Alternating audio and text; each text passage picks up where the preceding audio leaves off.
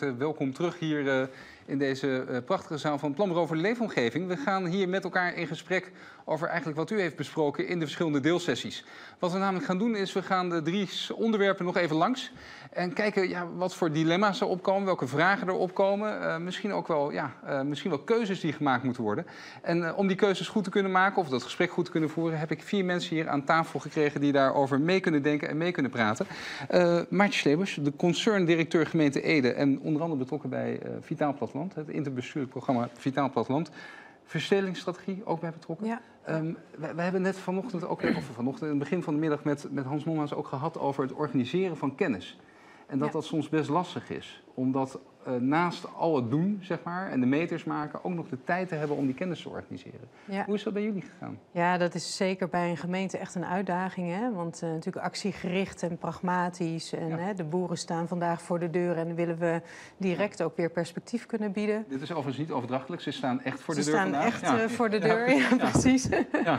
Eh, maar de tijd nemen om te reflecteren, te leren, eh, goed eh, ja, gebruik te maken van de aanwezige kennis die er in den landen is om vraagstukken verder te brengen. Ja. Ja, daar ontbeert het bij de gemeente vaak aan. En daar hebben we dus ook de andere overheden en de kennisinstellingen hard bij nodig. Kijk, daar gaan we met elkaar over hebben. Want inderdaad, die kennisinstelling, ja, we zitten erbij in en we moeten straks eens gaan kijken hoe je dat inderdaad goed organiseert. En met Ja. name de derde groep heeft daar zeker wat langer ook over gesproken.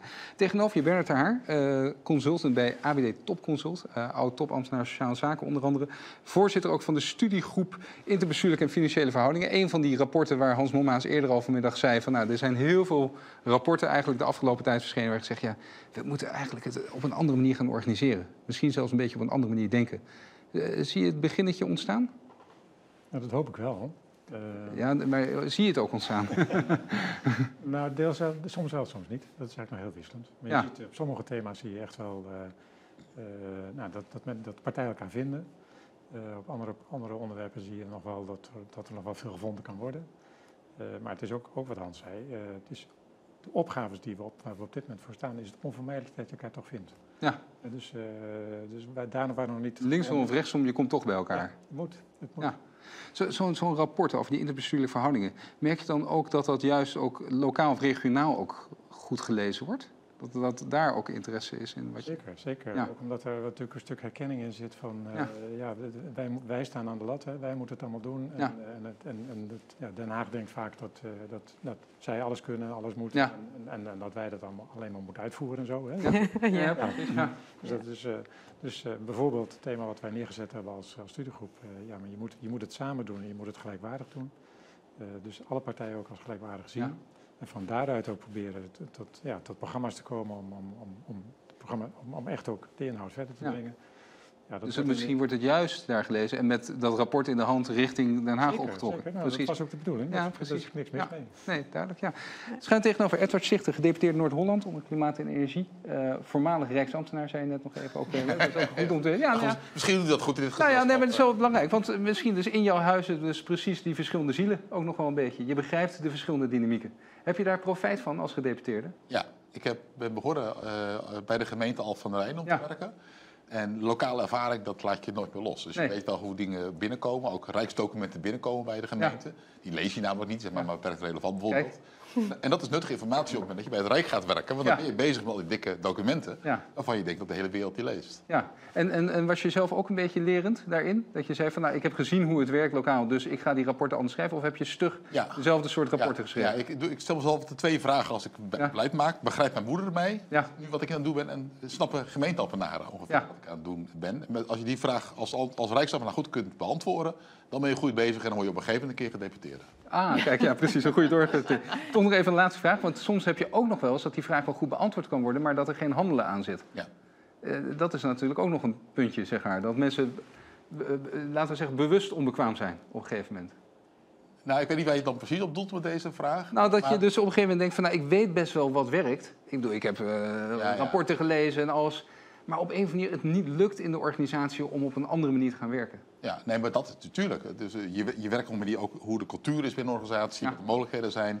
En ik ben ooit eh, eh, eh, afdelingshoofd geweest bij het ministerie van VROM op het gebied van kennis en onderzoek. Ja. Ehm, en daar, nou ja, daar was mijn idee van, ik heb nu een gemeentelijke ervaring en dit is allemaal nuttig voor die gemeente. Ja, Ja, zo werkt. Zo werkt dat niet. Dus je kunt alleen maar nuttige kennis opbouwen als je het ook daadwerkelijk doet met gemeenten en met provincies. Duidelijk, ja. Tegenover Ingrid van der Vechten, directeur Fries Sociaal Planbureau. En ik dacht, nou, jij bent dus eigenlijk zeg maar, de, de, de Hans Momma's van Friesland. Dus jij, jij bent eigenlijk waar we met Hans vanochtend over, of uh, begin van de middag, ik zeg even vanochtend, zo'n lange dag lijkt het. Begin van de middag over hadden. Dat je uh, zei van ja, je moet dat ook misschien meer regionaal organiseren. Ik dacht, dat ben jij. Nou, dat is nog mooier. Ik ben een kruising tussen Hans Momma's en Kim Putters. Nou, fantastisch. Ja, dat is, ja, precies. En dat alles in één. Ja. Eigenlijk is dat nog steeds, het gaat eigenlijk om de opgave centraal. Dat werd net ook werd, uh, gezegd. En dan gaat het zeker ook om draagvlak en sociale transities. En ook in de, in de ruimtelijke opgave. Dus daar proberen we vooral naar te kijken. En ik denk inderdaad dat in Friesland heeft de provincie dat mogelijk gemaakt. Eigenlijk sinds de decentralisatie in het sociaal domein ja. zijn wij gestart. Daarom heet we ook het Fries Sociaal Planbureau.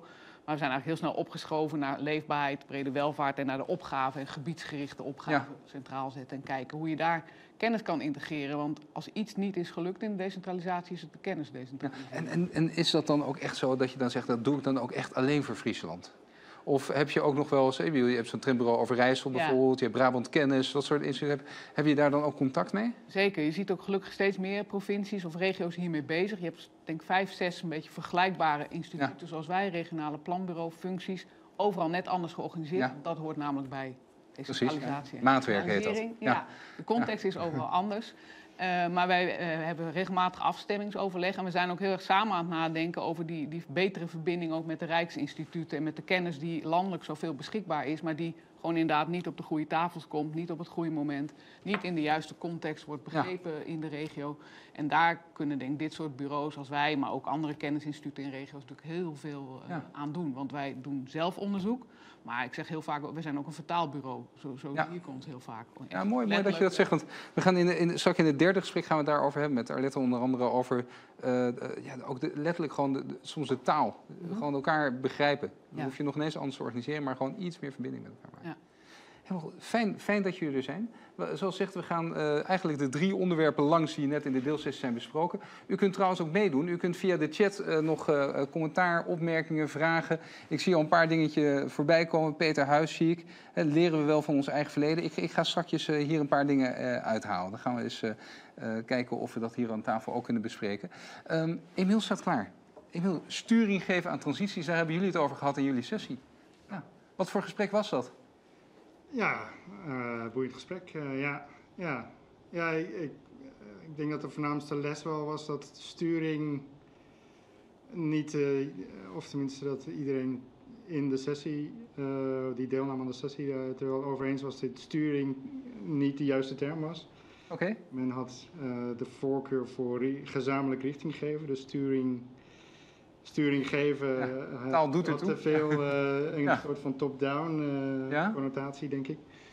Um, ja, en, en ja, verdere opvallendheden vond ik een aantal metaforen die omhoog kwamen. Mm -hmm. En ik ben eigenlijk wel benieuwd wat het panel de beste metafoor vindt. Oké, okay, nou probeer eens. Um, een metafoor die opkwam was, was een schip in de mist. Dus dat gaat natuurlijk, ja, ja. dat is een soort van collectieve opgave van omgaan met, met onzekerheid. Hè. Ja. Dat, dat, is een, dat zijn transities. Um, dus het is een schip aan de, in de mist, uh, waar je toch, uh, waarbij je toch een bepaalde richting moet, moet bepalen aan de hand van de signalen die je krijgt natuurlijk. Dus je kan niet doelloos ronddobberen. dat is de één metafoor. Een tweede metafoor was, ja, we zijn gezamenlijk een puzzel aan het leggen. En, uh, en, uh, en, ja, iedereen heeft een stukje uh, en het is, ja, het is een zoektocht hoe die puzzel nou gelegd moet worden. Even, even voor de zekerheid, bij een puzzel is altijd belangrijk, heb je wel het beeld wat het uiteindelijk moet worden of heb je alleen de stukjes? Um, nou, dat is een goede vraag inderdaad. Oké, okay, okay, ja, komen we zo, ja? ja daar hebben we het niet, niet over gehad. Maar de, de metafoor waar we het meest over gehad hebben is, ja. de, is een dans. Dus het is een, een, ja. een gezamenlijke dans met elkaar. Um, en ja, uh, dat heeft ook, uh, ja, uh, nou, die werd iets verder uitgewerkt. En eigenlijk bepaalt het, het rijk, het ritme, zeg maar, het basisritme en ook het tempo. en, en gebeurt de dans daadwerkelijk in de regio. Ehm, en het is ook niet een dans met z'n tweeën, zeg maar, maar meer een inline dans. eh, Ja, precies. Ja. Inline dans. precies. Ja. Lekker parallel aan elkaar, ja. Ja, ja, ja, alle Allemaal echt samen. Ja, ja. Ieder in zijn eigen rij. Ja, wel, als je ook zegt, het Rijk bepaalt ritme en de regio dansen, moet ik ook een beetje aan breakdance denken. Gewoon, de eentje is ontzettend hard aan het werken en de zijkant die staat gewoon maar te tikken, zeg maar. Dat is, eh, ja. Maar dit zijn de drie metaforen. Waarom was het belangrijk om eigenlijk dit in metaforen te doen? Is het lastig om het concreet te maken? Ehm, ja, ik denk, nou ja, ja, ik denk, nou ja, sturing geven en, en governance en allemaal dat soort eh, meer eh, termen die je normaal zou gebruiken in, bij, bij, ja, ehm, ehm, bij overheden die een bepaald probleem oplossen, zeg maar. Mhm. Is blijkbaar niet, eh, ja, ja, dat werkt blijkbaar niet goed. Dat, eh, ehm, Ja. En, en ik denk dat, ja, wat ik al zei, die, die top-down connotatie die sturinggever heeft. En Ja. het feit dat, dat het iets dwingends eh, lijkt te hebben. Dat, ehm, ja, dat vond men niet passen. Duidelijk. Nou, la- laten we daar eens met elkaar over hebben. Want dat is, dat, dat, eh, de, eh, dat, dat is in alle drie de metaforen zit inderdaad wel een soort van gemeenschappelijkheid. We weten het niet met elkaar, maar er is ook niet één kapitein op dat schip, om maar even zo te zeggen. Of één iemand die de puzzel legt, of één iemand die de dans doet. Ehm, voordat we in dat, in dat beeld meegaan, is dat eigenlijk, is dat eigenlijk terecht? Of, of zitten we met z'n allen langzaam in een soort vocabulaire van inderdaad, het moet allemaal gemeenschappelijk. En is de werkelijkheid misschien wel gewoon van ja, heel eerlijk gezegd, er moeten 1 miljoen woningen bij komen, 800 nieuwe, 800.000 nieuwe woningen komen. Gewoon opgave, geen gezeur, gewoon doen. Ja, ik, ik, denk, ik denk dat we hier elkaar wel een beetje gevangen houden in complexiteit en mist. Hè? Dus als je het hebt over de metafoor van het schip in de mist, dan denk ik, oh man, dat schiet natuurlijk niet op, hè? Dus we moeten wel het oog op de bal houden. En eh, inderdaad, die opgave... oog op de bal. Ja, oog op de bal. En eh, wel ook naar resultaat toe werken in enig tempo. En daar leiderschap in durven tonen. Vanuit onze verschillende eh, verantwoordelijkheden en rollen. Ja, dat En- laatste, hè, en dat daar vanuit wel onze de- gemeens- vanuit ieders verantwoordelijkheid Ja. en rollen. Je, je, je zou ook kunnen zeggen, ja, we, zitten nu ondertussen zo in een soort flow van hele tijd van gemeenschappelijkheid en dat soort dingen. Misschien zijn de opgaven wel zo groot eh, dat zeg ja, heel eerlijk gezegd gewoon, eh, eh, gemeente, het spijt me, maar we gaan dit gewoon doen. Klaar. Bernard. Ja, maar dat zou fijn zijn als we dat samen zouden kunnen doen. Kijk, Oké. vanuit de studiegroep hebben we geprobeerd om juist te zeggen van... Ja, je, je kan het allemaal heel ingewikkeld vinden. Dat kan een belemmering zijn om een stap vooruit te zetten. Dat is niet verstandig. Mhm. Als je wel een stap vooruit wil zetten, dan bedenk gewoon even vier, de vier belangrijkste vragen die je aan het begin van dat, van dat programma dan moet zetten. Wat wil ik eigenlijk bereiken? Dus, eh, gewoon, en dat is opgavegericht werken. Begint natuurlijk gewoon een heldere opgave. En dus niet een vage opgave, hè, dus dat, dat zijn we in de politiek eh, va- vaak gewend, eh, want dan, dan, dan houden we iedereen tevreden. Ja. Vage opgaves werken dus totaal niet in uitvoering. Dus, dus maak hem concreet. En leg hem ook niet te abstract en te hoog neer. Want ja, een, een, abstracte opgave is- is misschien ook iedereen het wel over eens, maar dat geeft dus geen leidraad wat je werkelijk moet doen. Nou, dus dat was de eerste, eerste, eerste vraag, van wat, wat, wat wil ik eigenlijk bereiken? De tweede, met wie, wie heb ik daarvoor nodig? Mhm. Eh, En dat, kan, eh, nou, dat, dat zijn bijna altijd in de opgave waar we nu op dit moment mee bezig zijn, zijn het alle overheidslagen eigenlijk. Ja. Eh, maar ook vaak anderen. Hè. Dus, de 1 miljoen woningen, daar heb je ook de, de woningbouwcoöperaties voor nodig en de, de projectontwikkelaars. bij, veel, bij, nou, bij, bij natuur heb je ook de waterschappen heel Ja. nodig. Hè. Dus, nou, dus, dat, dus kijken naar wie heb je allemaal nodig. Eh, drie, eh, wie doet aan wat? Dus, eh, Mhm. nou, ik begrijp wel een zekere terughoudendheid bij het woord sturen, maar je moet wel weten wie, wie doet wat. Dus daar moet je wel afspraken over maken. Nou, in ons studiegroeprapport besteden we vrij veel aandacht aan het woord regie. Wat ook meteen allerlei haren in de nek overeind doet zetten van regie. Zeker iemand van het Rijk die dat zegt. Dat betekent zeker weer dat het Rijk nu gaat zeggen hoe het, hoe het wel moet werken. Nou, dat is niet de bedoeling. Regie kun, je, kun je ook samen organiseren. Maar, je- maar het, het vraagt wel dat, dat iedereen ook weet wie wat doet en dat het ook niet vrijblijvend is. Hè, Dat je, eh, dat je ook, ook mensen op af, af kunt spreken. Ja. En de vierde vraag is, eh, met welk instrument eh, moet ik, moet ik het eigenlijk doen? Ja. Dus heb ik, heb ik voldoende geld? Heb ik, is de wet en regelgeving op orde? Is de, is de kenniskant op orde? Ja. Nou, met die vier hele simpele vragen maak je echt best, best een mooie start. Maar dan heb je met elkaar, maar als je die vier vragen, in ieder geval drie van die vier vragen kunnen helpen om tot een soort, wat dan mooi heet, een soort richtinggevende visie te komen. Je zegt van dit willen we eigenlijk met elkaar doen, met deze partijen en dit is ieders rol. Maar precies dat punt, of het nou regie of sturing heet, de, eh, ehm, de, het kan toch zo zijn dat je op een gegeven moment op het punt komt en zegt, ja, iemand moet zich zorgen dat we ons aan die afspraken houden.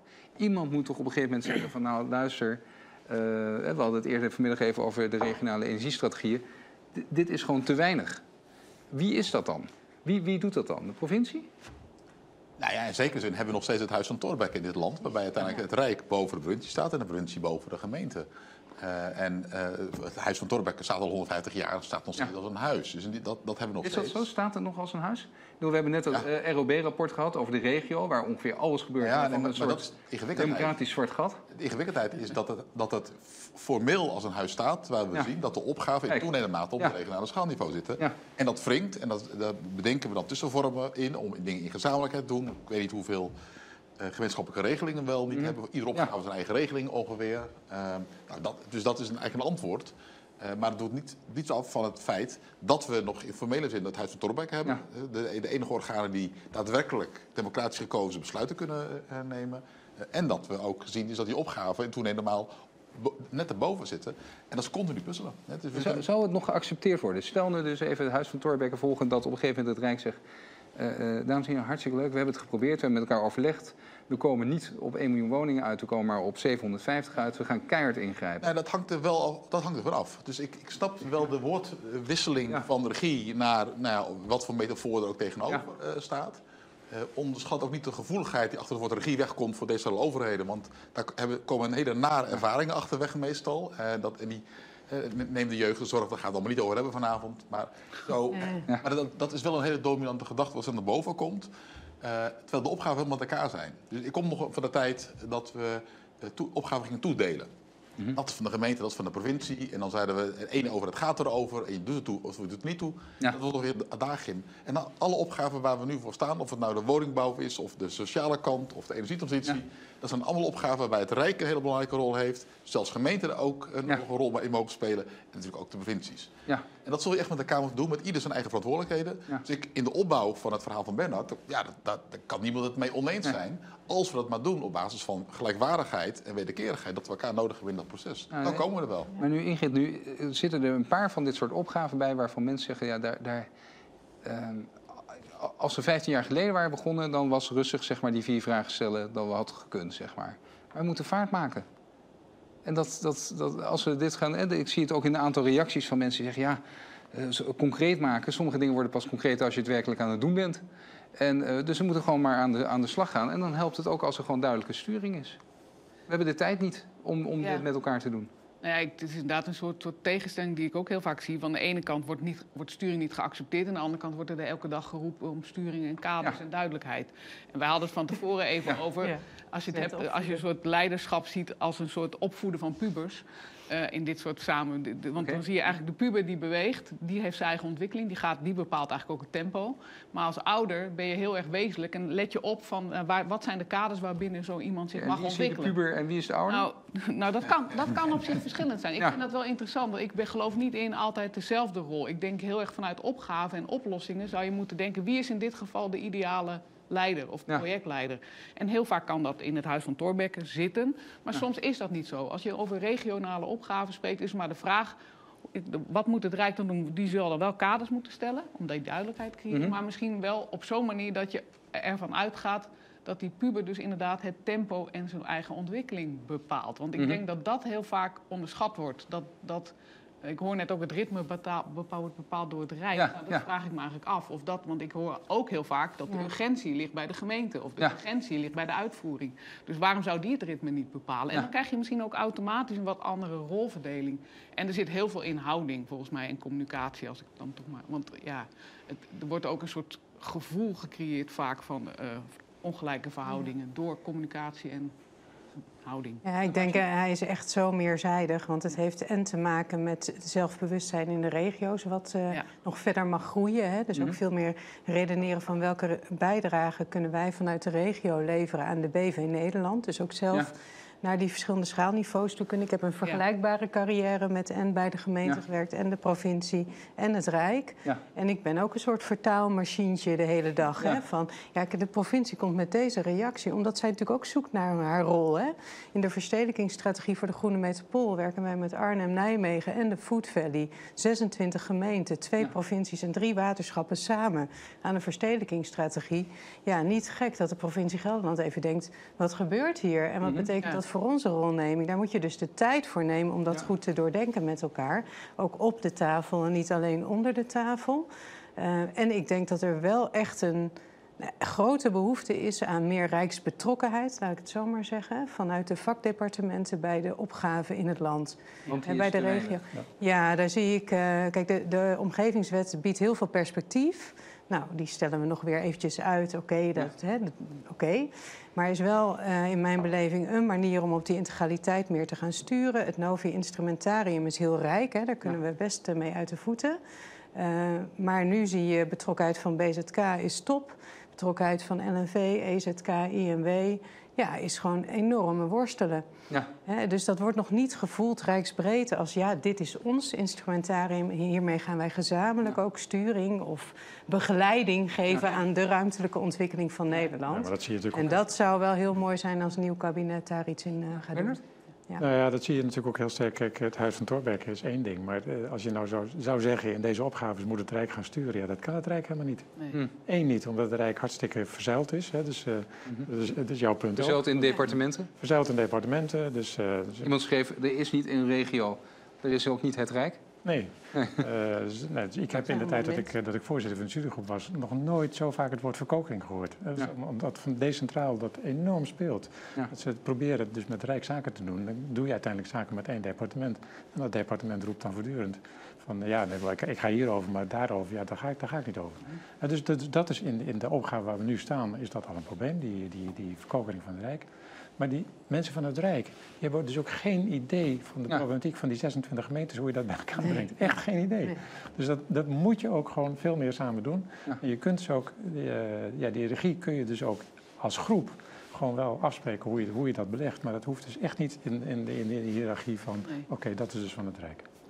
Eh, Toch, en eh, het sluit een beetje een vraag van Olga van Kalles, eh, sluit daarbij aan. Zeg van ja, zoals jullie nu analyseren, en dan merk ik ook een beetje als ik denk naar, de opgave die Hans Mommaas eerder aangaf, zeg maar, dit ligt voor ons, zeg maar. En we hebben al, proberen ook duidelijk te maken, er zijn echt wel stevige opgaven die we voor ons hebben liggen. En eigenlijk als jullie analyse nu hoort, denk ik van ja, er wordt straks heel veel gepraat en afgestemd. Gaat dit wel goed komen, zeg maar? Er worden uiteindelijk wel meters gemaakt. Zij zegt ook, Olga van Kalles, zegt ja, mooi die analyses, maar hoe kan je nou dat meer dat accent op de gezamenlijk uitvoeren zetten? Gewoon aan de slag gaan en dan misschien lerend evalueren, zoals we eerder ook elkaar uh, Waar zit dat in? Wie, wie, waar Nou, zit de heel- kracht, zeg maar, om gewoon nu meters te gaan maken? Ja, ik denk heel praktisch. Kom gewoon ook voor een deel in de regio samenwerken. Hè? Of, of nou ja, digitaal dan in deze tijd natuurlijk. Maar ehm, ja, je, je ook vanuit het Rijksniveau gebiedsgericht gaan organiseren. Eh, maar ook vanuit de kennisinstellingen. Hè? Daar is ja, bij gemeenten toch ja, heel erg uitvoeringsgerichte organisatie natuurlijk. En iedereen die kan helpen, ja, graag, weet je. Ja. Dus wat eh, BZK bijvoorbeeld sturen, heeft gedaan. doen, maar gewoon meewerken, meedoen. Ja. Gewoon een stap in de projecten, stap in de programma's. Ga gewoon meewerken. Dat, dat is heel goed gelukt op die versnelling van de woningbouwopgave bij de WBI. Met een, een vliegteam wat gewoon invloog om te helpen bij die aanvragen. Ja, dat helpt. Maar hier Er komt toch iets meer bij de puzzel uit nu. De gezamenlijke puzzel. Even in de. En ik denk van gewoon samen gewoon die puzzel proberen. Ja, gewoon Ja, samenwerken. Ja, die trits die Bernhard schetste. Hè, dat je, en als je dat in gezamenlijkheid doet, is dat de manier. Ik vind de Ja. rest op zich wel een mooi voorbeeld, regionale energiestrategieën. Waar je aan de voorkant duidelijk hebt gemaakt, hè, dit, dit moet het opleveren. En dit is ongeveer de Ja. dat het moet opleveren. Het is nu aan jullie om het voor te geven. Maar niet op een manier dat Rijk zegt, nou succes ermee, maar ook blijvende betrokkenheid. Ja. Ja, en dan zijn we ook in staat, als ik geloof 26 van de 30 op tijd, met Ja. een prachtig document eh, eh, te komen. Waarin heel duidelijk wij onze verantwoordelijkheid als overheden kunnen nemen. En een ander voorbeeld is woningbouwproductie. Wordt ook Ja. heel vaak geroepen in de Kamer. Er moet een miljoen woningen bij. En waarom gebeurt het niet? Belachelijk. Ja. Ja. en dan zeggen die gemeenten terecht. Wat denk je wat we mee bezig zijn? Ja. Ja. Dat, dat verbindt niet. Dan ben je niet samen, gezamenlijk met een opgave bezig. En dan ben je gewoon aan het roepen. Het is een hele mooie voorbeeld, vind ik. De rest, en zo kunnen we ook nog wel een paar andere voorbeelden bedenken. Er zijn bijvoorbeeld waar het gewoon roeptoeters zijn. Ja. Ingrid, tot slot op dit punt. Ben ik wel benieuwd. Ik hoorde jou instemmend reageren op het verhaal van Edward. Ja, nou ja, sowieso dat, dat meewerken, dat, dat was een beetje wat jij uh, ook uh, zei. Van hoe zorg je ervoor dat je die, die kaders neerzet, maar dat je er ook de kennis echt in die regio uh, zo ja. neerzet, zodat er ook gevoel ontstaat van wij worden ook, ook onze kennis, onze vraag wordt gehoord. Daar moet de regio zelf ook al wat aan doen. Maar uh, nou, hoe krijg je gewoon. Dan, dan krijg je gezamenlijkheid. Je krijgt niet ja. gezamenlijkheid als je allemaal in je eigen uh, koker natuurlijk blijft zitten bij het ja. Rijk, maar ook in de regio niet. Duidelijk. Dus ja, organiseer dat. Ik vind een dansvloer wel mooi hoor, overigens, maar dan niet een dans. Nee. Een dansvloer waar van allerlei. Wisselende coalities. Ja, precies. En dan geen muurbloempjes, gewoon iedereen meedoen. Ja, ja precies. Niet zo. Emiel, ik ben wel benieuwd, want jij hebt, jij hebt staan luisteren naar, naar dit gesprek. Uh, uh, brengt het jou nou een stapje verder? Uh, ja, de, ja, ja, ik herken wel een aantal punten. Met name het, het punt van ja, grote abstracte opgaven uh, um, in al hun complexiteit. Hè. Um, om die dan op te knippen naar meer concrete opgaven in regio's. Dat kwam ook in onze sessie naar voren, inderdaad. Ja. En dat je daardoor inderdaad een stap verder komt. En dan je ook niet meer kan verschuilen in een papieren werkelijkheid, zeg maar. Ja. En gewoon concrete oplossingen moet, uh, tot concrete oplossingen moet komen. In ja. plaats van een papieren oplossing. Ja, en dat is inderdaad, wat jullie ook aangaven, die sturing, ja. Het is iets wat je met elkaar echt moet doen. Uh, doe het echt en dan uh, gewoon maar met elkaar aan gaan werken. En dan alle departementen. Dus ja. het Rijk in, in al zijn veelzijdigheid. Ja. Goed. Emiel, heel veel dank. Dankjewel. We, we gaan jou wisselen voor Eva, die volgens mij om de hoek staat. Uh, want uh, leren, organiseren en institutionaliseren. Kijk, dag Eva, ja. Uh, dat is ook een, een, een, advies of een rapport dat jullie een tijdje geleden hebben uitgebracht samen met NSOB. waarin eigenlijk hebben gezegd van ja, dat, dat, leren dat moet echt een plek krijgen. Dat, dat moet veel meer, eigenlijk een beetje jouw laatste punt ook ingezet. Waar je zei van ja, dat, dat moet meegaan, dat leren. Ja. Hoe, hoe was dat bij jullie in de sessie? Nou, wij uh, hebben een sessie gehad waarin uh, eigenlijk best wel veel voorbeelden ook waren van hoe dat leren dan systematisch georganiseerd kan worden tussen Rijk en regio. Maar de echte uitdaging uh, waar wij tegenaan liepen was, hoe kun je die leerervaringen vervolgens ook benutten? Mm -hmm. En daar kwamen we eigenlijk weer terug op waar jullie het net over hadden, de dans. Wie bepaalt het ritme? En in uh, mijn sessie uh, kwamen we erop uit dat het ritme toch wel heel sterk bepaald werd, ook door de politieke werkelijkheid. Ja. Ja, um, dus je kunt wel leren met elkaar, je kunt daar inderdaad uh, instrumenten voor inzetten, een strategie op uitdenken. Maar dan nog is het de vraag, is er voldoende foutentolerantie in de verschillende volksvertegenwoordiging bij gemeente, provincie en, en Rijk? Uh, en wij kwamen eigenlijk ook uh, ja, tot de vraag van, zouden we het leren ook niet moeten verruimen? Hè? Niet alleen naar Rijk en regio, maar ook naar de politici toe. Ja. Dus dat we hen meenemen in die dans. Hè? En dat we het ritme misschien wat meer gezamenlijk gaan bepalen. Oké, okay, duidelijk. Ja, even, ik denk dat je het dichtst bij het politiek komt in, aan deze tafel, uh, in de zin als gedeputeerde. Ja. hoe... Nou, het is een interessante dimensie. Ik denk dat het leervermogen van de politiek beduidend minder groot is dan van de ambtelijke organisaties. Dat was geconstateerd. Volgens mij heeft dat is... ook, wel, ook haar zelf uitgesproken dat dat het geval is. Ik vind de toeslag ook wel mooi of affaire ja? als je erin duikt hoe het is ontstaan en hoe het vervolgens ook weer uitpakt. En ja. dezelfde Kamer die zich erg volgelijk en boos uh, uh, stelt. Ja, en het punt van Eva is, doordat dat zo is, beperk je ook het leervermogen van alles in de uitvoering. Ja. ja. Ja, ik, ik, denk dat, ik denk dat het heel goed zou zijn, heel mooi zou zijn als het reflectieve vermogen wordt vergroot. Ook, en daarmee ook politie in staat wordt gesteld om binnen de cyclus van maximaal vier jaar, dat, dat maakt, ook wel, maakt wel heel erg uit. Ik, ik heb geleerd alert zijn als je zegt het, het zou heel goed zijn als. Dat klinkt heel voorzichtig. Ja, maar is dat goed omdat ik meer denk dat het, dat het heel lastig is om dat, gewoon, dat vervolgens eventjes te gaan regelen. Ja, ja. Dat is de reden dat ik het voorzichtig uitdruk. Ik sta wel volmondig achter het idee om, ja. om ook als volksvertegenwoordigers reflectief te zijn op het eigen handelen en ook reflectief te zijn op wat politieke sturing betekent. Uh, en wat, hoe een coalitieakkoord bij wijze van spreken ook uh, soms kan helpen, maar soms ook echt in de weg kan zijn. Want op het moment dat je uh, aan het begin van een collegeperiode afspraken maakt, zeg, ja, hier houden we elkaar dan vast en als we elkaar loslaten hebben we een probleem. Ja, dan, dan wordt het heel erg lastig reflecteren. Want dan is dat ja. altijd het, weer het vertrekpunt. Dus zo'n uitspraak, daar sta ik achter, want ik zie het ja. noodzaak. De uitvoering daarvan loop je tegen heel veel aspecten aan. Ja. Want politiek, politici wordt niet op, daar, op die manier aangesproken. Nee. Bernard, je bent jarenlang ambtenaar geweest, dus je hebt politici zien komen en gaan. Uh, is dat van enige invloed op uh, uh, de rest van het gesprek wat we vandaag nu al met elkaar hebben? De, de politiek-ambtelijke verhoudingen. Ja? Zeker. En, en dat, en die gaan, dat gaat ook niet goed. Zeg maar. Ik denk op dit moment de afstand tussen, tussen politiek, zeker in Den Haag, afstand tussen politiek en ambtenarij is eigenlijk alleen maar groter geworden. Uh, en dus ook meer en meer van elkaar vervreemd geraakt. En dat, en dat leidt dus inderdaad ook tot het eerste beste incident wat enorm opgeblazen wordt. Uh, dan wordt het natuurlijk enorm geblazen naar het ambtelijk apparaat ook. Uh, die zegt het eerste incident, toeslagen? Ja, je zegt, de, dit is een begin van vaker... Nee, de hele politiek draait op dit moment veel meer op incidenten dan op, dan op ja. gericht structureel gewoon beleid maken. En, ja. En ik denk ook dat als, als Kamerlid uh, even, even reflecteert op, op het eigen, eigen functioneren, dat hij ook beseft dat hij eigenlijk meer tijd is aan bezig is met, met die incidentenpolitiek dan met het, uh, het, het zorgen voor, voor, kwalitatief goede wetgeving. Okay, maar dan, hmm. Uh, mensen zeggen wel eens, uh, uh, over politiek praten is net zoals over het weer. Je kan er langer over praten, maar je verandert er weinig aan. Uh, is dat, is, zit het enigszins in de invloedssfeer, ook van de mensen die aan tafel, ook van de mensen die misschien kijken? Zeg je, daar, we zouden dat lerend vermogen daar best kunnen verbeteren. Is dat haalbaar? Is dat realistisch? Ik denk het wel, maar dat betekent ook wel dat je, dat je het gesprek aan moet gaan. Hè? Dus dat, mm. uh, dat, dat, nou, dat roep ik nu ook binnen de ambtenarij. Van, we kunnen niet, niet gelukkig zijn met die politiek-ambtelijke verhoudingen, maar ga niet zitten wachten tot de politiek daarop verandert. Yeah. Mm -hmm. dus je kunt het wel hebben over nieuwe bestuurscultuur, maar je kunt zelf ook gewoon uh, er iets aan doen door gewoon dat gesprek aan te gaan. En, en aan te geven dat als je programma start, dat er fouten gemaakt worden.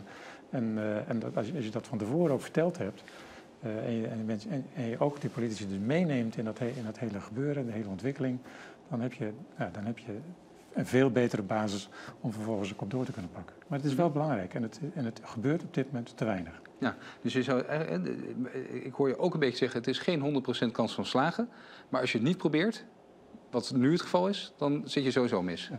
Ja. Martje, ik hoor jou daar. Ja, ik denk inderdaad hè, die, die kwetsbaarheid zelf ook in je stukken laten zien. Hè, van wat is nou uh, aan het Rijk, waar heb je invloed op en waar ook niet. Hè, waar ligt een mandaat bij de Europese Unie of een mandaat bij een gemeente.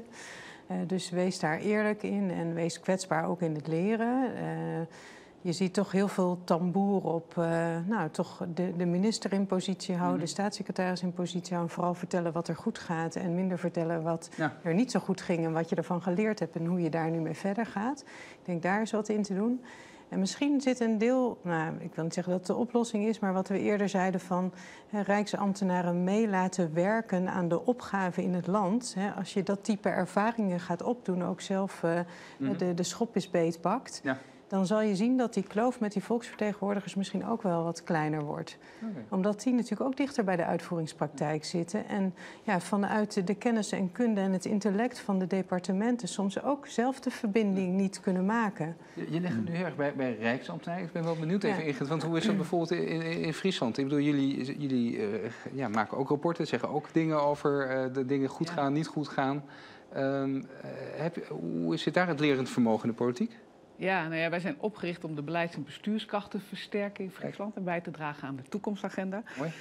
Uh, en dat is echt heel lastig om dat echt te doen. Want mm -hmm. om aan die politieke tafel uh, de kennis over, over, het voetlicht te krijgen en daar waarde aan te laten toekennen, daar moeten wij ook echt heel veel stappen voor ja. zetten. En die, dat zit hem echt niet in nog meer onderzoek doen. Mm -hmm. Klinkt misschien raar vanuit onze positie, maar wij zeggen eigenlijk zeggen, communicatie is bij ons minstens zo'n belangrijk proces als onderzoek ja. Want het gaat erom, mensen lezen niks politici lezen helemaal niks, maar niemand okay. leest meer iets. Ik heb ook vaak studenten van de Torberg Academie, die zitten in Friesland, die leren nog steeds beleidsrapporten maken. En die... Waarom? Je ja. moet in één beeld kunnen zeggen wat je wil zeggen. Je moet metaforen gebruiken, je moet het verhaal concreet maken, inderdaad. En dan ook kun je die proces. En dan, dan zie je wel dat die politiek beweegt. Wij zijn nu zelf een beetje aan het oefenen met scenario-processen samen ja. met gemeenteraden en ambtenaren en stakeholders doen, zodat je ook leert omgaan met welke kennis hebben we ja, en welke precies. onzekerheden zijn er en hoe schatten we die in en kunnen we daar meer gemeenschappelijke taal en analyses van maken. En daar, daar geloof ik wel in, dat we die stappen pril, pril, pril wel gaan zetten. Ja, want dat is natuurlijk wel interessant. Toen we beginnenmiddag met Hans Moemans aan praten waren over die grote opgaven, die transities. Een belangrijk kenmerk wat hij steeds meegaf, zeg ja, het eindbeeld hebben we niet. Nee. Het is juist iets waar het, wat nu super belangrijk is, wat heel veel impact heeft op de samenleving, maar we kunnen gewoon nog niet zeggen wat de route wordt. Daar, daar moeten we echt met elkaar optrekken. En dat is dus een lastig gegeven. kan ook niet meer zomaar trends. Onzekerheid is een kenmerk van deze transities. Ja, kijk, een onderzoeker die trekt liefst gewoon de trends door, zeg maar zeggen, een paar berekenmodellen. Maar in principe uh, zijn die, die, dat is allemaal opgeschoven. En corona heeft er nog een schepje bovenop gedaan. En uh, nou ja, dat bewustzijn is denk ik ook wel toegenomen, juist daardoor. Ik merk wel daardoor ook wat meer interesse soms ook in uh, hoe gaat het nu verder? Wat is de impact van dingen? Kun je, dus we krijgen wel meer vragen uit de politiek, ook juist over de gevolgen van corona bijvoorbeeld. Dus dat geeft ook weer wat kansen misschien om dat wat meer op de agenda te krijgen, om daarnaar te kijken naar die toekomst. Ja. Ik zeg jou nog... Uh... Ja, ik wilde even reageren op, op de, de kant van de, de, de reflectie van politici zelf, volksvertegenwoordigers. Dat is, een, dat is een lastige uitdaging, zei want er moet gescoord worden, de media zitten bovenop en ja. daar passen niet altijd dikke rapporten bij die genuanceerd eh, zijn. Zo werkt het niet. En tegelijkertijd vind ik wel dat je als ambtelijke organisatie daar wel een verantwoordelijkheid in hebt. Ik bedacht even dat ik een mooi voorbeeld had van gisteren. Ik had gisteren een hele lange dag in de Provinciale Staten, ging over de regionale energiestrategie. Hebben we heel lang over gesproken. En vervolgens kwam daar een referendum-initiatief uh, kwam aan als een apart punt. Er is een initiatief genomen in Holland om een referendum te organiseren rondom de rest. En je snapt dat is hyperpolitiek. Het gaat over referendum wel, of niet. Dat begint al. Het tweede is ook het onderwerp over de witbolens, discussies in Amsterdam. En de organisatie zei terecht, ja, dat, dit is echt politiek. Hier branden ja. ja, maar even zeggen. Maar wat ze wel hebben gedaan, zegt, het is al jullie maar dit zijn wel de consequenties van de effecten. En dat is wel informatie waarvan we, dat hebben we ook gedeeld, de technische briefings ook voor staatleden voor verzorgd. En dat heeft uiteindelijk wel het effect in het gesprek wat er plaatsvindt. Dan is het niet alleen maar schieten over wel niet referendum en die windmolens deugen niet. Maar dan gaat ook wel degelijk, zijn wij nog een betrouwbare overheid als we dat doen. Als het gaat om mensen die dat niet wilden. Of als het gaat om, maar het is zelf initiatief geweest van de provinciale zelf om dat mogelijk te maken. Dus hoe geloofwaardig ben je als je dat niet doet? Ja. En dat inzicht, dat is geen garantie. Maar ik vind wel dat je als organisatie altijd de plicht hebt om dat wel mee te geven. En daar ben ik wel over overtuigd dat er soms politici zijn die wel een stuk lezen. Ja, ja. oké, precies. Nou, dat, dat toch even... als ik hoopgevend einde nog is. nou ja, bijna einde. Want ik was nog één ding. Ik dacht, als je nog één, één stapje erbij doet... Want je, je ziet nu wel, hè, we hadden het over die lerende evaluaties... dan zie je wel vaak dat er gekeken wordt van... oké, hoe kunnen we het proces verbeteren? Dus eh, we zijn al goed bezig, maar we kunnen misschien nog een stapje beter. En, en, en volgens mij, jullie hebben in de sessie ook volgens mij over gehad van... Nou ja, maar soms moet je ook, kom je tot de conclusie... we zitten echt op de verkeerde weg. We moeten de hele boel even afbreken en ergens anders opnieuw opbouwen. Nou, ga dat maar eens politiek uitleggen. Dan hebben je het daarover gesproken ook? Zeker, zeker. Ja, je hebt natuurlijk korte termijn cycli nodig hè, om te kunnen leren. Dus die moet je ook inbouwen in je beleidsprocessen. Ja, die feedback... Uh, ja. Feedbackloopjes, precies. Maar uh, de kans is dan ook dat je dus blijft hangen in eerste orde loops. Dus uh, het verbeteren van het beleid. Hè, dus de goede, het goed beter, beter gaan doen. maar dat je inderdaad die reflectie op dat strategische niveau eigenlijk vergeet. Hè? Waar zijn we eigenlijk uh, met elkaar naartoe aan het roeien? Zijn het nog wel de goede doelen? Op welke aannames zijn die gestoeld? En dat was echt een worsteling, daar hebben we het ook over gehad in de sessie. Enerzijds wil je dus die korte feedback loops. Ja. Daar wil je ook op kunnen sturen. Ook om juist hè, de successen te laten zien, maar ook de fouten, die, de, de mislukkingen die je, die je ervaart, op tafel te kunnen leggen en daarvan te kunnen leren. Tegelijkertijd heb je dus ook die strategische discussies nodig. En toen kwamen we dus op de vraag: hoe breng je daar een goede verbinding tussen? Ja. Um, en zijn dat dan andere tafels? Hoe breng je die dan dus met elkaar in gesprek? En toen kwam ook nog het punt naar voren dat die verbinding dus niet alleen binnen zo'n programma, binnen zo'n dossier speelt, maar dat daar dus ook de verschillende transitieopgaven ook weer in onderling uh, samenspel uh, ja, in ogenschouw genomen moeten worden. Want anders zit je allemaal te sturen op verschillende doelen in die transitieopgaven, die, uh, van transitieopgaven die elkaar ja, niet altijd versterken. Een eh, hele korte reactie op van Bernard. Dit is zeg maar leren voor gevorderden. kan politiek dat aan? Nou, ik, ik, denk dat de politiek wel wat bestuurlijker kan worden dan het nu is. Maar uh, zeker in Den Haag is nu het adagium, uh, we willen veel meer openheid. Hè, en, en, dat is wel echt een kans. Okay. Want uh, dat betekent dus dat je, dat je wel ook de ruimte krijgt, ook in die, weer in die politiek-ambtelijke verhoudingen, om vanuit de ambtenarij wel gewoon ja, de, de kennis en de inzichten gewoon op tafel te leggen. Ja. En dan kan je er ook niet zonder meer omheen. Want, het is, want dat doe je dus in de openheid die, die we met elkaar hebben afgesproken nu. Uh, en, dat, en dat maakt, denk ik, hoop ik ook, de politiek bestuurlijker. Kijk. Uh, ja. ja. dus we hebben een momentum voor de tweede orde van leren. Dat is, uh, ja. Dankjewel. Eva, heel veel dank. Dankjewel. Dank. We, we, we, gaan naar het uh, derde en laatste blokje. Rol, inrichting en organisatie van kennis in rijk regio samenwerking. Arlette, nou ja, we, het kwam natuurlijk al stiekem al een paar keer een beetje voorbij. Uh, we hebben hier de, de Ingrid Momma's putters aan tafel zitten. zeg maar. um, dus um, was dat inderdaad bij jullie ook de zoektocht van hoe, ga je het regionaal organiseren? Wat is landelijk? Wat, wat, ja, en wat mij eigenlijk ook opviel is dat er werd ook gezegd, want wij hadden een hele sterke stelling van nee, de, die afstemming kan veel beter. Maar uh, dat er ook heel veel goede voorbeelden natuurlijk, er gebeurt al heel erg veel. Maar dat die ook veel flexibeler zijn. Dus er werd gepraat ook over bijvoorbeeld de Lerende Evaluatie Natuurpact. Die ook heel erg heeft bijgedragen aan het creëren van een gezamenlijke taal. Ja. Of uh, VFET, het programma waarin verschillende partijen nadenken ook over uh, dataverzameling en informatie ten behoeve van de regionale energiestrategieën. Dus uh, ja, waar misschien in termen van uh, vaste organisaties zag je hier ook wel een beetje een netwerk en veel flexibele ja. vorm van samenwerking ontstaan. Ja, wel interessant, hè? want je zegt ook al gewoon wel over de taal. Dus ook gaan elkaar daarin weten te vinden. Je, je noemde ook al een paar keer, ik ben vertaler eigenlijk. Wat, wat, wat is dat dan? Wat, wat, speelde, wat, is dan die andere taal? Ja, dat is een goede vraag. Um, ik denk dat het gaat over... Um, de, iemand van de provincie zou ik, wij zijn vooral van verantwoorden en, uh, en, realiseren. Wij zijn daar heel erg mee bezig. En uh, tegelijkertijd zie je op nationaal niveau dat mensen veel meer ook in termen van data en indicatoren bezig zijn. En veel meer strategisch. En daar zit nog een verschil in hoe, ja, wat is onze rol hier nu precies en wat doen we nu precies. Ja. En, uh, maar die, ja, die gemeenschappelijke taal is wel een van de grootste uitdagingen die er werden genoemd. Ja, uitdaging is altijd een mooi woord voor, ook in het kader van taal, zeg maar. Dit, dit gaat dus nog niet echt lekker. ja, dus, Ingrid, herken je dat? Ja, we hebben geleerd om geen problemen te meer te noemen. Nee, precies. precies ja. Keurig ja. direct. Uh, ja.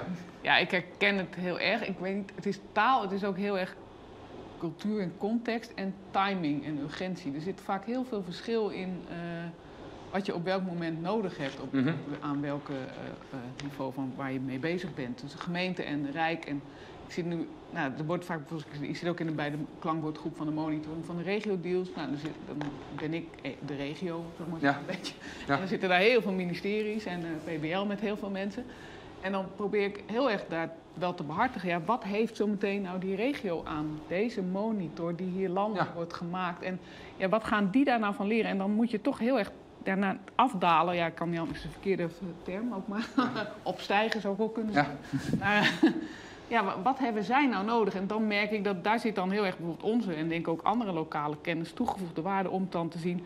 Oh ja, wat speelt hier? Hoe zit het netwerk eigenlijk echt in elkaar? Uh, hoe, want we hebben ook wel eens een keer een evaluatie gehad voor een krimpregio. Er werd een mooie evaluatie geschreven. En dan zeiden mensen in die regio: ja, ze snappen ons in Den Haag ook niet. Dat is onze cultuur om het zo te doen. En nu worden we daarop afgerekend. Dus allemaal dat soort dingetjes zijn wel. Ja, die doen er heel veel toe. Dus het en dus? En, ja, dus? Dus moet je, wat mij betreft, heel veel regionale kennis partners en regionale uh, partijen uh, zelf plannen laten formuleren en daar die kennis intrekken vanuit het ja. Rijk. Die wisselwerking creëren en elkaar gaan leren begrijpen. Hoe hebben jullie dat eigenlijk georganiseerd in Noord-Holland? Goeie vraag. ja, ik, zou, ik zou dat niet eens gemakkelijk kunnen beantwoorden. Nee. Eigenlijk. Ik denk dat, dat uh, Maarten is al terecht, gemeenten zijn doeners, die regelen dingen, die pakken het ja. op. En dat is heel goed dat we die hebben, want dan gebeurt tenminste nog wat in dit ja. land. Uh, en bij het Rijk is ook het vermogen om daar veel meer over na te denken. En ja. ik denk dat de provincies daar gemiddeld genomen een beetje tussenin uh, zitten. Dus hebben we net meer mogelijkheden dan een gemiddelde gemeente. Ja. Maar niet de alle mogelijkheden, de planbureaus, de instituten ja. die het Rijk heeft, heeft. En ik denk dat, dat dat een van de opgaven is. is dat we natuurlijk heel veel verantwoordelijkheden hebben neergelegd bij andere overheden. Uh, daar, daar waren ook middelen soms ja. meegegeven, vaak te weinig. Maar goed, er kwamen wel middelen over. Maar dat we onvoldoende hebben nagedacht dat er ook kennis en kennisinfrastructuur bij hoort om die, ook die rol goed waar te kunnen maken. En dat zie je nu hapsnap wel ontwikkeld zijn. Ik bedoel dat niet lullig naar, naar Friesland toe. Maar niet het niveau wat dat zou willen hebben. Dus ik vind dat een van de grootste uh, klussen die we nog te doen hebben. Hoe we naar al die decentralisatie die we nou wat hebben... Wat vind je van het idee van een Centrum voor Decentrale Kennis? Dat heb ik iemand een keer horen zeggen. Ja, ja, als het niet een centrum wordt van weer, en dan vervolgens weer, ik geen idee, maar, maar het, het, idee om op een goede manier die kennis te ontsluiten, want de, de kennisbehoefte is ook anders. Ja. De, vooral de gemeente heeft behoefte aan wel wetenschappelijk funderen, maar wel toegepaste kennis. Ja. Die hebben niks aan een dik RIVM-rapport over geluidsnormen, nee. noem maar op. Maar op zich goed idee. In zichzelf kan het een goed idee Nou ja, zijn, mits ook wel de, de verschillende instituten daar op een manier op zijn aangesloten, dat het ook wel gaat, dat, dat, dat, Ik dat denk die dat landelijke wordt. instituten gewoon met regionale kenniscentra, clubs moeten gaan samenwerken. Ik probeer al twee, drie jaar ook bij het SCP binnen te komen. Ja. Nou, dat is echt moeilijk. Ik zeg, Ja. la- laten wij samen onderzoek doen. Jullie, doen jullie hebben hartstikke veel kennis, Ja. mooie methodiek. Daar heb je geen wij apart hebben een supergoed panel. Wij kunnen, laten wij de Friese variant doen. Want dan kunnen wij namelijk die Friese gemeente adviseren over de participatiewet. In plaats van dat jullie alleen de staatssecretaris gaan informeren over hoe die gemeenten het overal doen. Ja, Ja. Dat lukt me niet. Nou, met Hans Mommaas heb ik ook al een mooi gesprek gehad. PBL doet er veel meer aan wat dat betreft. Maar we zijn, het, er is echt huiver om met die hap-snap-instituutjes, om maar zo te zeggen... of, Ja, met lectoraten, geraakt, of toch met... geraakt. Ja. Maar ik snap het wel. Wij zijn ook zo, bedoel, dat is niet goed geborgd nog. En, zo. Ja. Maar dus, en ja, dan is het overal anders georganiseerd, zeggen ze dan ook. Ja, dat is Ja. namelijk zo. Dat is het gevolg. En ik denk, als je dan weer een centrum zegt, dan denk ik, ja, dan gaan we weer ergens naartoe bewegen voor We wie. kunnen even kijken, want het was jouw idee, toch Bernard? Zeker, Ja. zeker. Nou, Ja. dat is vooral, ja, de, de, de gedachte daarachter was vooral, je moet dat dus borgen, die decentrale kennis. Is echt anders dan eh, dat wat de planbureaus op dit moment produceren. En je moet dus in, in het land, moet je gewoon dus het, het borgen dat die decentrale kennis echt ontwikkeld wordt en ook gezamenlijk wordt, eh, wordt, wordt gedragen. Mhm. Eh, en dat is dus, het centrum betekent dus niet één gebouw, maar het betekent dus wel dat, je, dat, je weet, dat iedereen er ook ja, herkenbaar weet waar, waar het zit, waar het vandaan komt en waar je op kunt rekenen. Dat, is, dat was eigenlijk de gedachte. Wat vind jij van het? Ja, ik voel wel eigenlijk voor wat er ook in jullie eh, deelsessie aan de orde kwam, veel meer vanuit het netwerk redeneren. En waarbij wel ook weer die gelijkwaardigheid er dus in komt. Dus wat je regionaal doet en wat je landelijk doet in de instituties. Maar daar weer een apart instituut van maken, lijkt mij, ja, denk ik, hè, als we nou opgavegericht te werk willen gaan. En je weet dat er op die kennisvragen altijd wel weer wisselende samenstelling nodig zijn om hem goed te pakken. En er zijn netwerken effectief. Ja, laten we dan kijken hoe je dat verder kan opbouwen. En via die netwerksturing eh, de, de volgende stappen zetten. En kijk, voor mij geldt hetzelfde. Wij krijgen bij de gemeente de, de kennisvraag ook lastig gearticuleerd. Dus we zijn gewoon eh, bezig. Zullen we Ja. zeggen, bezig. En we hebben wel een klein onderzoeksteampje. En we zijn natuurlijk een programma datagedreven stuur aan het uitrollen. En we hebben heel veel data beschikbaar. Maar die auto- automatisch wordt de verbinding niet gemaakt met de regionale kenniscentra. Dus er is nog een wereld te winnen. Maar ik ben een beetje huiverig voor nieuwe instituties op dat front. Ja, tot, slot- tot slot. Nou ja, ook over, als je het over netwerken hebt, dan is er uiteindelijk, want dat was een andere uitdaging, misschien die te, ter sprake kwam. Eh, je hebt wel een bepaalde mate van standaardisering nodig. En eh, regie was er iets wat terugkwam. En dat de regie Ja. niet vanzelf komt. Ja. En wie, wie er dan aan zet is. Ja. Dus ehm, Ja, eigenlijk wel grappig. Dat raakt bijna een beetje dat allereerste gesprek over die sturing, zeg maar. Van, hè, je hebt aan de ene kant wil je ruimte bieden en gebruik maken van alle kennis op alle plekken. En aan de andere kant moet je wel met elkaar afspraken maken over hoe zorgen we dat het bij elkaar opgeteld wel meer is dan de, de- dan de delen, zeg maar. ja. en misschien ook nog een link naar Eva's eh, verhaal over Ja. eh, eh, leren institutionaliseren. Ja. Want urgentie, die heel erg zit op regionale energiestrategieën en ook op natuurbeleid, Ja. werd ook van gezegd dat maakt het lastiger om stil te staan en te reflecteren. En dus kennisinfrastructuur ook op te bouwen. Dankjewel, dankjewel Arlette. Heel veel dank. Dankjewel. Ja. Dit, dit zijn drie onderwerpen die we zo, zo, zo eruit pakken. Ik, ik was wel even benieuwd, eh, tot slot even, eh, als jullie kijken hoe daar nu over gesproken wordt, denk je, ja, dit, is het? Hier gaat het echt over? Of denk je eigenlijk van ja, want ik heb zo ook nog Hans Mommaas onder andere aan tafel zitten, dus dan kan ik nog wat voorleggen. Ja, dan denk ik, ja, leuk, deze drie onderwerpen, maar eigenlijk zou je het daar ook nog over moeten hebben. Of denk je van ja, nee, dit, dit dekt wel de lading. Nou ja, ik vind het denken in, eh, in, in, opgavegericht werken en dat, je, dat, je, dat kennis daar een hele belangrijke component in is en dat je dat ook feed- feedback moet geven, zodat je Ja. ook moet kunnen bijsturen, is natuurlijk echt, echt wel iets wat, eh, wat bestuurlijk Nederland verder kan helpen. Ja. Ehm, maar, je, maar je moet het wel gaan doen. Ja, En, ja. Nou ja, daar hopen we vanmiddag in ieder geval weer een bijdrage aan te leveren. Mhm. En wat we wel interessant vonden, is toch ook die uitstap en die zoektocht naar hoe ga je politiek erbij betrekken. Niks doen is geen optie. Mhm. De afstand lijkt groot te worden, dus hier moeten we erbij zien te halen. Want anders, en, nou, de open bestuurscultuur kan daar misschien een, een, een stapje bij helpen. Het verbinden van de kennis die er al is, in plaats van er iets naast zetten. Wat natuurlijk eentje die mooi voorbij komt. Dus ja, aan de slag. Eh, eh, wat, uh, is er iets wat jij nu kan gaan doen na vandaag? Dat je denkt, oh, dat zou ik eigenlijk iets meer moeten doen. Ja, nou, ik, ik neem in ieder geval mee dat we in ons proces van de verstedelijkingsstrategieën, waar voor de zomer in alle colleges en uh, staten een klap op wordt gegeven, dat we die kennisvraag ook moeten gaan articuleren en ons daarop moeten gaan organiseren. En niet alleen met, uh, met de WUR en de Nijmegen Universiteit, we die al vanzelfsprekend partner in precies, die strategie maar, zijn. Wat ook net werd maar gemaakt, precies. breder. Ja, en dus ook veel nog preciezer gaan kijken naar hè, in de sleutelgebieden waar de uitwerkingen gaan komen. Wat is dan uh, in die opgave nodig? En ik denk dat ook kan helpen dat we in de integraliteit ook wel durven te kiezen. Hè, want je ziet dat, uh, nou, uh, we hebben het natuurlijk ook over stikstof en natuur en landbouw. Dat is natuurlijk voor de Food Valley een, een bijzonder groot vraagstuk. En de Veluwe als draaischijf daarin. Ja, daar moet je ook durven zeggen in die integraliteit dat deze opgave daar prioriteit heeft. Nou, ik krijg nog een persoonlijk bericht van jou binnen van Marco Hamelaars. Mark Hamelaar, Hameleers. Mark Hameleers. Ingrid, oh nee, Ingrid, voor Ingrid is dat. Sorry, voor jou Ingrid, sorry. Ingrid, laten we dan met betrekking tot brede welvaart in de regio samen de eerste stappen zetten om als Rijk en regio hier verdiepend onderzoek samen te gaan doen bij Ja. deze het aanbod. Mark. Bij deze deal. Ah, kijk, hier is de deal. Nou, helemaal goed. Nou. Mag ik jullie ontzettend danken in ieder geval voor dit eh, gesprek voor nu. En het is zoals altijd weer een, een, een volgende stap. Eh, we gaan weer, weer verder vanaf hier, maar in ieder geval heel veel dank voor jullie bijdrage. Dank jullie wel. Dank. Dankjewel. Dames en heren, we zijn bijna aan het einde gekomen van dit eh, online seminar, of webinar, het is hoe je maar het benoemt. Ehm, eh, we gaan natuurlijk nog even terugkijken. Ik zei eerder al, Hans Mommaas aan het begin, we komen aan het eind nog even bij hem terug. Femke Verwest schuift ook aan, sector hoofdverstedelijking en mobiliteit. Ehm, eh, die gaan we nu bijhalen.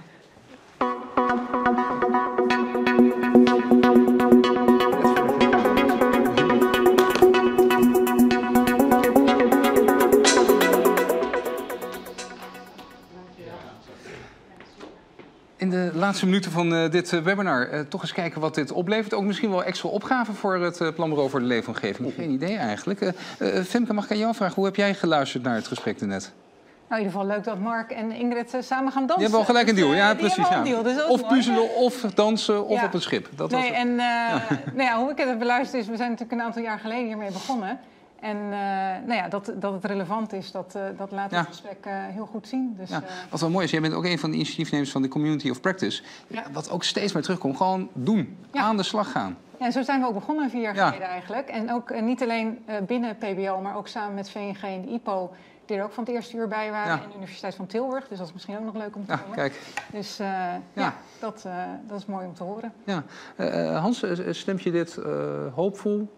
Ik, ik, Eh, ik, heb, ik heb ik driftig zitten schrijven. Ja. Eh, want eh, volgens mij zijn er allemaal ontzettend goede gedachten opgekomen. Wat, wat, nou, er zijn een heleboel dingen bijzonder. Dus het is ontzettend lastig voor mij om te kiezen. Wat, wat ik heel bijzonder vind, is dat, dat iedereen eigenlijk zegt... weet je, in de opgave, in de praktijk van de opgave... Ja. daarin moet je, kun je het best met elkaar samenwerken. Ja.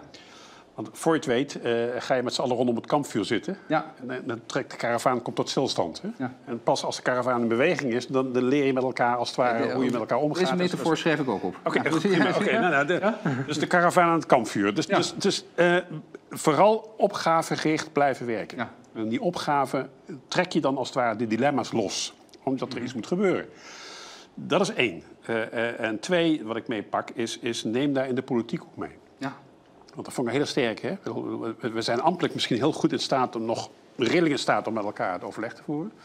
Maar als we voor ons de politiek vergeten en alleen maar op het eind van het proces de politiek confronteren met een kan-en-klaar plan, ja, dan weet je wat er gebeurt. Ja. Dus, dus zet ook de politiek aan de voorkant van de karavaan, om het zo eens te zeggen. Mhm. Laat ze deelgenoot zijn van die opgave, om dan met elkaar ook te verkennen wat je daarmee kunt doen. Ja. En ik ben zelf altijd een beetje huiverig van structuur bouwen. Omdat je voordat je weet, je hebt het alleen maar over structuur en niet meer over de opgave. Ja. Dus eh, er wordt op veel plekken nagedacht over hoe gaan we die kennis nou beter organiseren. Moet er een centrum komen of moet er eh, dit komen, moet er dat komen. Er zijn al veel dingen. Hè? We, hebben, we hebben dan platform 31 natuurlijk bijvoorbeeld in Nederland Ja. voor de fysieke leefomgeving. Dus ik, ik weet niet of daar de oplossing in gezocht moet worden. Ik denk dat inderdaad... Dus als je het zo zegt, vind je van niet. Nou, ik, ik, voel meer, ik, Ja. ik voel meer voor de dynamiek die Ja. ontstaat vanuit de opgave. En, Ja. en, en daarin zien we gewoon ook als PBL, hè, wanneer het gaat over die aardgasvrije wijken, wanneer Mhm. het gaat over de resten, wanneer het gaat over die woningdeals, wanneer het gaat over de regio-deals. In die opgave zie je gewoon partijen in beweging komen met elkaar. Mhm. En wat nou niet moet gebeuren, is dat al die, al die initiatieven die nu van de grond zijn gekomen de afgelopen vier jaar, dat die nu allemaal successievelijk wat doodbloeden. Wat nu moet gebeuren is dat die als het ware vaart krijgen in de volgende fase, hè, het volgende kabinet. Zodat je als het ware wat je nu hebt opgepakt en wat je met elkaar geleerd hebt kunt doorvertalen. Misschien mag Ja, ik daar nog een zeker, aanvulling aan tuurlijk, doen? Want ja. die opgave is denk ik heel belangrijk. Maar wat ook la- mooi laat zien in de opzet van vandaag... is dat de opgaven eh, niet eendimensionaal zijn, maar integraal. Ja. En dat je dus kan leren door te spiegelen tussen natuur of energie... of Ja. tussen woningmarkt en Ja. Een andere klimaatadaptatie. En dat, volgens Ja. mij, daar is de next level of de next step nog nodig. En dat vraagt ook een beetje afstand om dat te kunnen zien, om die verbanden te kunnen zien. Want als je er middenin zit, dan zie je het niet natuurlijk. Ja, nou, ja, daar kunnen wij een, mooie Ja. bijdrage met onze eh, kennis aan leveren. En dat hopen we natuurlijk ook eh, op die manier te doen. Ja. ja, want dat vroeg mij sowieso wel af. Want, eh, want als je hier naar luistert, luister je natuurlijk gewoon ook als, als vertegenwoordiger van het Plan over de Leefomgeving. Dan denk je ook van, ah, wij moeten eigenlijk misschien ook iets anders gaan doen. Of, of daar zouden we nog kunnen aanhaken. Heb je daar... Ja, het, het, dansen dat trekt me als metafoor. En Ja. het is, eh, volgens mij is het heel belangrijk dat de opgaven zijn eh, van die aard en zo relevant. Ja. Dat zie je ook met de corona en met stikstof. Dat je meervoudig eh Ja. sturingsrapportaar nodig hebt als beleidsmaker. En als eh, onderzoeker heb je een meervoudig onderzoeksrapportaar Ja. nodig. En dat proberen we te ontwikkelen. sta je wel voldoende in het balboekje om het dan maar een beetje in het dansen te houden? Ja. En word je wel gezien als danspartner, ook Ja, bijvoorbeeld regio. Ja, zeker. Ja? En eh, zeker natuurlijk als eerste in de, in de dossiers waar we, die gedecentraliseerd waren. Dus daarom dat we ook op een natuurdossier als een van de eerste natuurpact een Ja. voorbeeld was waar we eh, een lerende evaluatie op hebben gedaan. En op het ruimtelijke dossier. Dus je ziet het per dossier eh, is het verschillend afhankelijk van de aard. En, Ja. eh, nou ja, daar word je zeker als eh, danspartner Oké, gezien. dan ben je- oké. Wij, wij, wij, in- tegendeel zou ik haast zeggen, wij worden overvraagd Ja, ja. uit regio's. En dat is een reëel gevaar voor ons. Ja. Want we hebben ons natuurlijk in eerste instantie te verhouden zeg maar even tot een- het nationale beleid. ja. Eh, eh, eh, en, en zoals ik zei, hè, vanuit de afgeleide van dat nationale beleid komen we op die regionale verantwoordelijkheid. Er komt enorm veel vraag, kennisvragen vanuit de regio's op ons af. En, en wij kunnen gewoon niet eh, al die 30 regio's, afhankelijk van dossiers en de andere aantallen, kunnen we niet bedienen. Ja. Dus er is wel degelijk een soort van opgave om, om die kennisstromen te stroomlijnen. Mhm. Eh, maar de, de- klus zal zijn, de uitdaging zal zijn, zeggen we dan zo mooi, hè, om, om dat in de verbouwing te doen. ja.